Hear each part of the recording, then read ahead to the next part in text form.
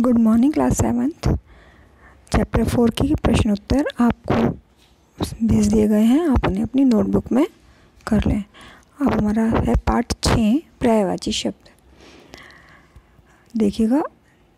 सूर्य, सूरज, दिनकर, दिवाकर, रवि, ये सब एक ही शब्द हमारे सूरज को प्रकट कर रहे हैं। इसी तरह से जो लगभग समान अर्थ वाले शब्द होते हैं, उनको हम पर्यायवाची कहते हैं। जैसे औरत के लिए हम नारी, स्त्री, महिला आदि शब्दों का प्रयोग करते हैं। घोड़ा, घोड़े को हम क्या कहते हैं? घोटक, अश्व, तुरंग, बाजी।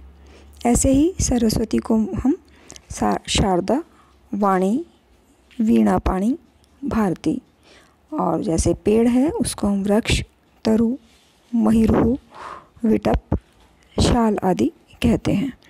इस तरह से जो शब्द एक ही अर्थ को प्रकट करते हैं। वे कहलाते हैं पर्यायवाची शब्द।